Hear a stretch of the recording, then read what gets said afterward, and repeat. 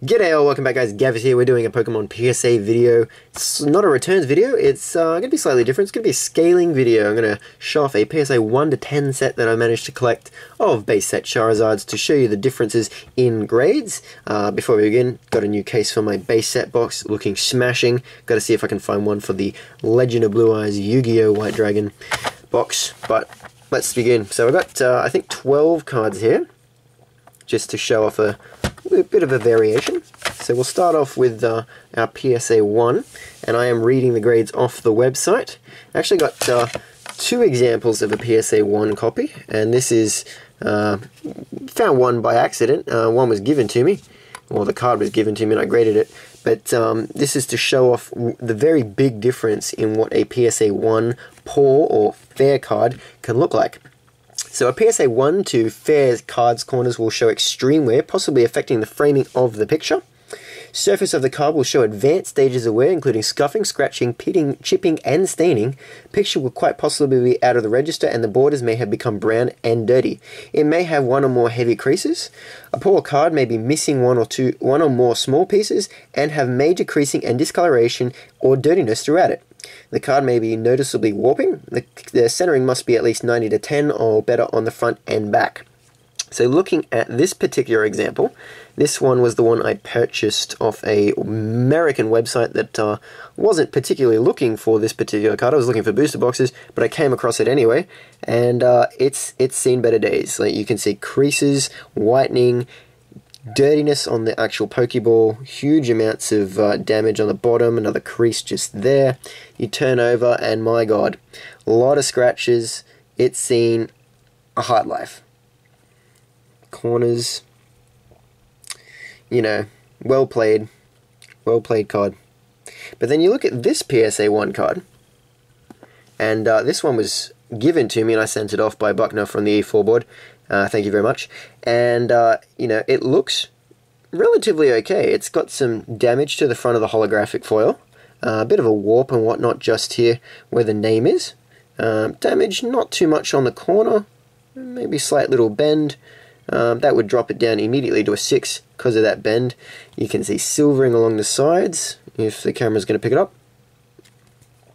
Uh, the damage is a bit more evident on the side of the card it looks generally okay. You know, it's seen it's it's a well played card, but it's seen better days. You turn over to the back, and that's where you can quite clearly see the damage. You got a lot of whiting and chipping, and the cardboard's starting to, uh, I don't know, disintegrate or whatever you want to call it. In the corners, you can clear, clearly see more dirt on the Pokeball. So probably a schoolyard card. Uh, sticky tape over the OKE, um, and it goes all the way down to just underneath the lettering bit of a bit of a crease, more bends. So, you know, you can have a good looking front, not too much damage, and still get a PSA 1 due to the back. It's quite possible. Now, I believe these are a pop 4 or a pop 5, maybe? Pop 4? Sounds about right. Um, but yeah, I was very lucky. Uh, I've been searching for ones for a long time, but uh, surprisingly, the low population ones was not the hardest one to achieve. The hardest one of the entire 1 through 10, 10 set was actually the Good 2 Charizard. It was so hard to find this bad boy, but I did manage to come across it, and I'm very grateful. It's only taken me six months to complete this set, so... Alright, so a Good 2 PSA card. Uh, cards corners show accelerated rounding and surface wear is, and it's starting to become a bit more obvious. A good card may have light scratching and scuffing, light staining, or chipping of enamel on observing. There may be several creases. Original gloss may be completely absent. The card may show considerable discoloration. The centering must be at least 90 to 10% or better on the front and back. So, you know, it's getting up there. We're starting to improve on the condition of the card. Still going to see a lot of whitening on the back. Maybe a couple of creases. This one does have, or sorry, you will see creases on the on the back of the cards. So this one, creases in the corners, down the middle, not too bad. Pretty evident though when you come down to the N, it's all through there. A lot of whitening on the card, on the top and bottom, along the sides a little bit. So uh, it's a, it's another used card. Um, we can see a bit of a chip to the top of it, uh, a massive indentation missing just above his little wing. Poor guy. A lot of holo scratches itself. Uh, but overall, the, the front not looking too bad. You can see there's that crease that runs all through the retreat costs and whatnot. And uh, the corner, you know, not too bad, but still you can see the silvering of the the underground layer or the, the lower level, whatever you want to call it. Centering looks pretty good, but uh, overall a well played card. Actually, we'll, uh, we'll we'll leave the previous grade up there just for observation purposes. Alright, moving on to the very good three. We're starting to really uh, change the way the cards are starting to look now. Very good three card reveals some rounding of the corners, though they're not very extreme. Some surface wear will be apparent, along with a very possible light scuffing or light scratches. The focus may be somewhat off, and the edges may exhibit noticeable wear. Doesn't necessarily mean it will, though. Uh, much but not all of the original card's gloss will be lost. Borders may be somewhat yellowed and or discolored. A crease may be visible, in which case you can see the crease in this particular card. Printing defects are possible. Slight stain may show or, uh, and observe wax stainings on the reverse may be more prominent. Centering must be at least 90 to 10 or better on the front and back. So the card's not looking relatively too bad compared to our counterparts, counterparts 2 and 1. Um, you do see a lot of scuffing on the hologram, you know, another probably schoolyard card. Um, a lot of silvering at the top from where it's been played or when it came out of the packet, probably from when it's been played. Uh, you know, scratches. See if we can get it. Yeah, scratches across his wing. A lot of scratches actually on the holo foil itself. Down the bottom, you can see a lot of silvering from where it has been played and not taken, you know, relatively good care of. But it still looks okay. Uh, what's given it a 3 is probably the back due to the crease itself, all through the E and uh, a couple on the side. A lot of whitening, but not too much compared to our ones. The card hasn't started to disintegrate and lose its quality. It's still there, just really well played. Thanks for joining us, number two. Let's move you back. Number three. Alright, now we're moving on to the better quality ones. Surprisingly, um, I think I think one, two, three, four, and five graded cards of Charizard specifically cost the exact same or relatively close to uh, the price point of a PSA 6 or 7 Charizard, which, you know, they're, they're low population. There's only probably under 50 of uh, most of them. You know, under, I can't say off the top of my head, but they're very low population. Um, I know the ones I think about four or five. The twos, I think maybe about 20. not too sure. Don't know about the threes and the fours. But um, starting to really get up there with the populations now. And We'll start to see that probably when we get to about the sixes onwards. So this is a very good to excellent four. These cards can have corners that are slightly rounded. Surface wear is much more noticeable but modest. The card may have light scuffing and or scratches. Some of the original gloss will be retained. The borders may be slightly off-white. A light crease might be visible. Oops, there we go, put it in front of camera. Might be slightly visible, but not necessarily there. Centering must be at least 85 to 15 or better on the front and 90 to 10 or better on the back. So, if we examine the back here now, we're not seeing any dirt on the back. That's uh, like visible with the naked eye. However, the centering, that's probably one of the biggest issues that will affect this kind of card. De definitely off center left to right, top to bottom. Uh, a lot of whitening down the bottom as well. Not too much though. Uh, I can't really see a crease when I'm shining at myself and looking through the camera. Maybe, maybe a little bit just on the Pokeball, but not too bad. Uh, sorry. Alright, on the front, we're looking. We can see the hologram's looking pretty good. Scratches, yeah, there's some scratches. But not too many. You can see down the bottom here. Not too bad. Silvering, pretty, pretty okay. So it's getting there, it's getting there. Starting to really improve on what our card's condition is starting to look like right now.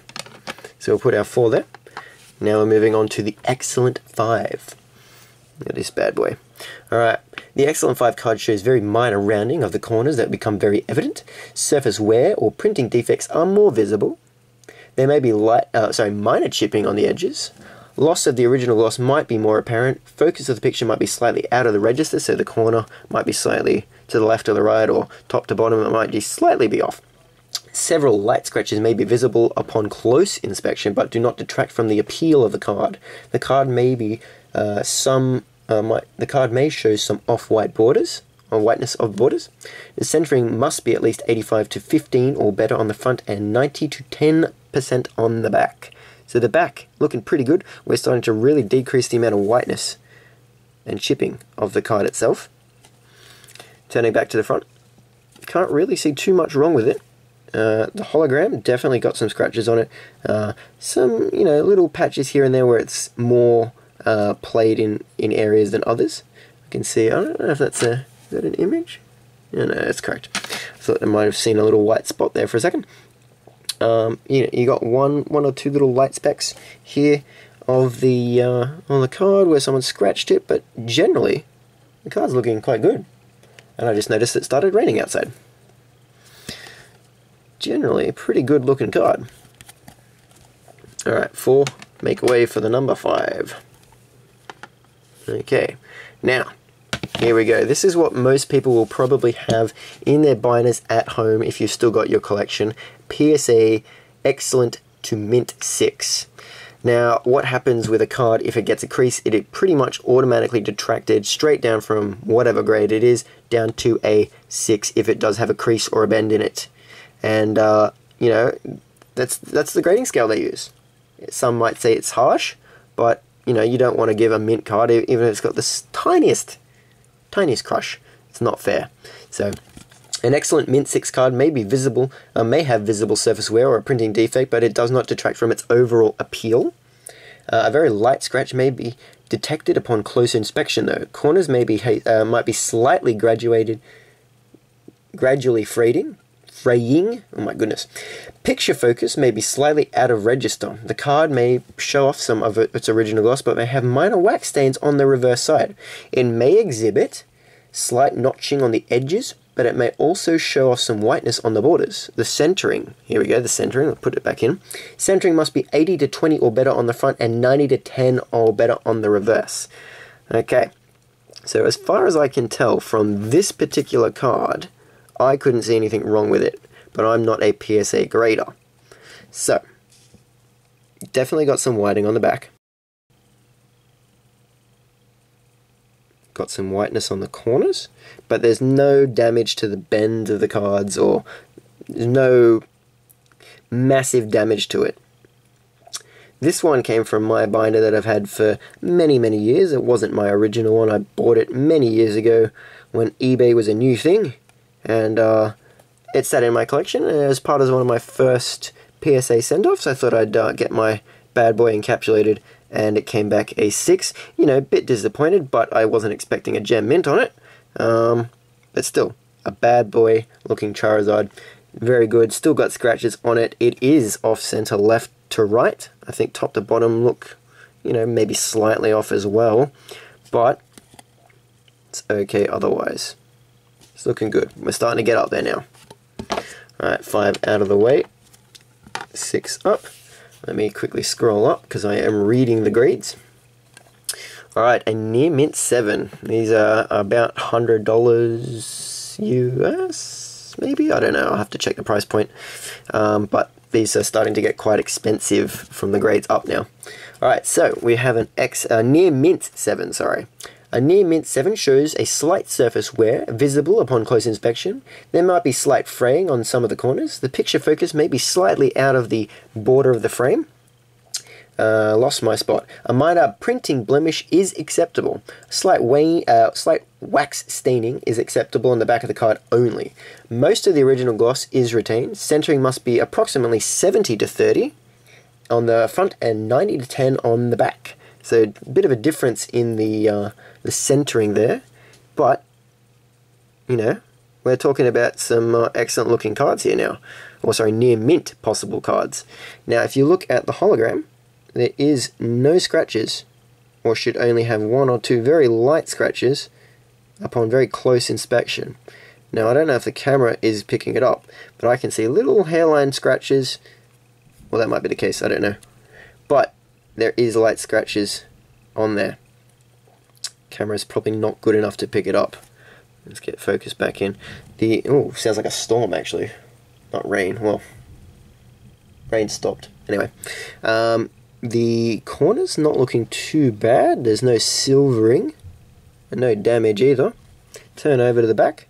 A little bit of whitening, but that's because you can see from the clear dark blue, it's very a lot more visible.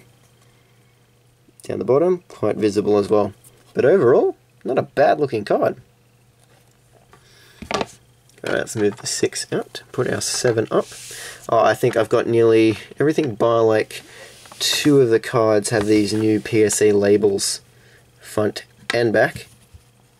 Uh, I think the 6, the 9, maybe the 10 have missing either the front hologram or the back one as well, barcode wise, sorry.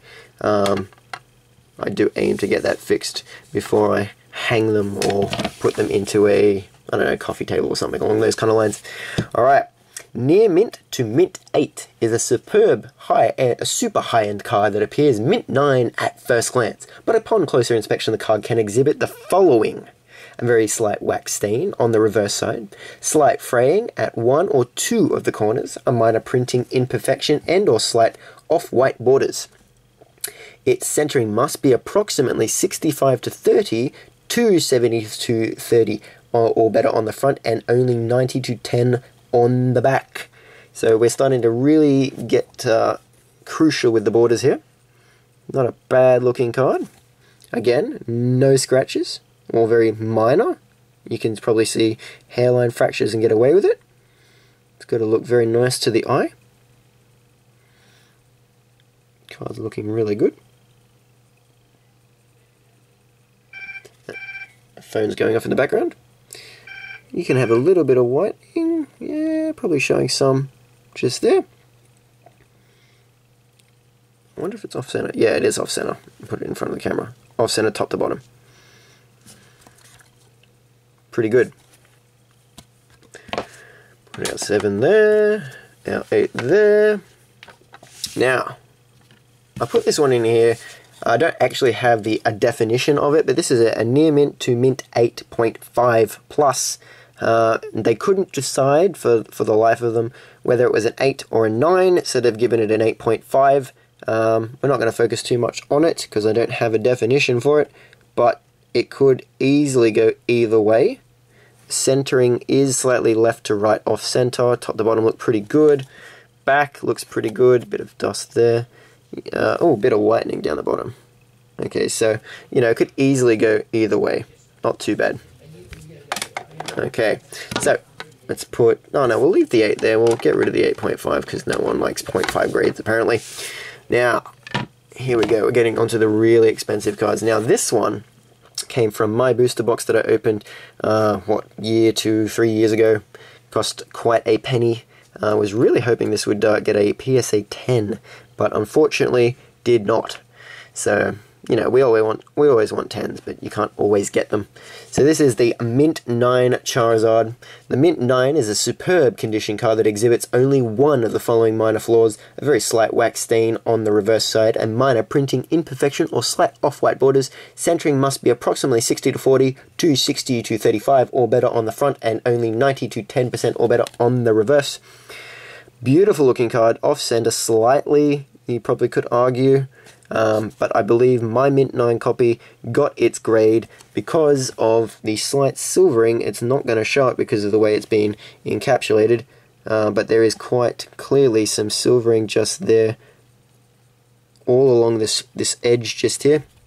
Other than that, the card is just beautiful, pack pulled by myself, just a gorgeous looking card.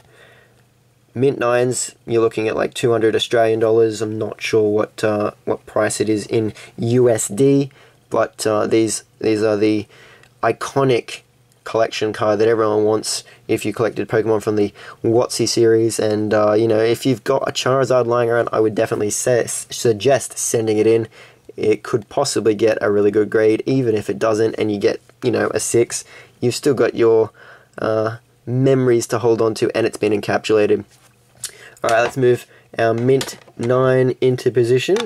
And we'll move on to the Holy Grail. Well, maybe not the Holy Grail because it's not first edition, but a Gem Mint 10. Now this one, its case has seen better days. I do, do need to send it off and get it put into a new one. It's got a bit of sticky stuff, so I might need to get some eucalyptus oil and get rid of the sticker that was slightly on it. But uh, yeah, and it's off center as well, which you know sort of bugs me. Doesn't have the uh, the the new labels, so that will be something that I will look to get done in the future. But uh, yeah, this is the Gem Mint 10 copy. Um, so Gem Mint 10 is a virtually perfect card. That doesn't mean to say it cannot have one of the following. Attributes four perfectly sharp corners. Focus is sharp and it has full gloss, or full original gloss, sorry. The original uh, sorry, the card must be free from any staining of any kind, but an allowance may be made for the slight printing imperfection if it does not impair the overall appeal of the card. The centering must be, sorry, the image must be centered on the card within a tolerance, but not to exceed approximately 55 to 45 to 60 to 40% on the front and 75 to 25% on the reverse. So you're looking at like it's got to be absolutely near perfect absolutely near perfect. That doesn't mean to say a Gem Mint 10 card cannot have one tiny little scratch or one slight imperfection. It's just suggesting what a Gem Mint 10 copy looks like. If you look at the holo, you're going to find no hairline fractures. That just there is on the case. Um, no hairline fractures, no damage to the card whatsoever. Just a gorgeous looking card. on the back. It's got to be well centered. Just gorgeous. So there you have it. Hopefully I can manage to get my hands on the remaining uh, 0.5 grades. I don't believe there is a um, zero. There's no 0.5 grade and zero, no 9.5 grade for any card. I don't believe. I haven't seen them there might be, I don't know, but I've never seen any of them. Um, but yeah, next aim is to get the original ones with the old logos, or old labels, sorry, encapsulated, uh, refixed up so that they are up to date, so that I can then mount them and put them into a coffee table or, or a picture frame or something along those lines because they will all look gorgeous and it shows off PSA 1 to 10 what kind of grade you're looking at for each of them. There you have it. Alright, do have a update regarding my PSA Pokemon damaged packets coming shortly. Also got, hopefully, some uh, returns coming back. I know I may have posted some pictures slash spoilers regarding that. Uh, and one very high-end card that hopefully I can have back in my possession very shortly. Uh, but that will be the next video. I still got to crack open my Evolutions pre-release kit because the other one has arrived, so there will be a video for that as well. Um, but yeah, thanks for watching guys. Make sure you give that video a like and subscribe, and I'll catch you next time. Gav out. I did have some small little scratches on the holo foil. Let's see if I can get it to show. There's one just there. You can probably just make it out where my thumb is. Another one just there and another one just there. There was three with a couple of little uh, other little lines somewhere on here. Basically, a lot of you said that it wouldn't score a 9 and uh, you know I, I, had my fingers crossed really really hoping for a 9 but um, so without further ado let's have a look at the grade